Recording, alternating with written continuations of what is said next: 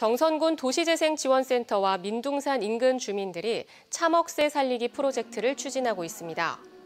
정선군 도시재생센터는 지난해 남면 무릉리 마을 주민들과 세계 억새마을 조성을 주제로 마을 성장 계획을 수립하고 올해 초부터 민둥산 참억새 육묘 사업을 시작했습니다. 또 주민들이 참억새 보존회를 만들어 도시재생지원센터와 함께 민둥산 억새 농장을 운영하고 있습니다.